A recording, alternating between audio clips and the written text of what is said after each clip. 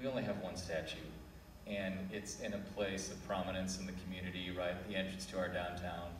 And now that we are aware, and maybe some were, but now that I'm aware of the fact that he was not only a slave owner, but that he worked to keep slavery legal in Illinois, um, I, I, I don't see that as a he was a man of his time issue. I, I think that he, I think that owning other people across history has always been bad and always will be bad.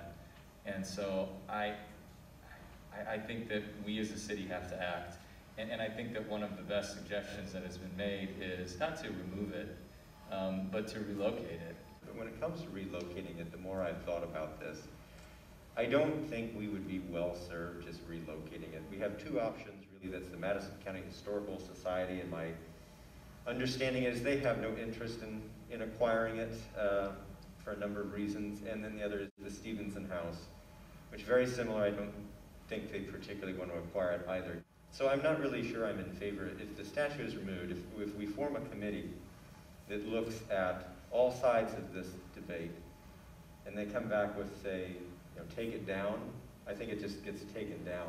I don't really think relocating it solves anything.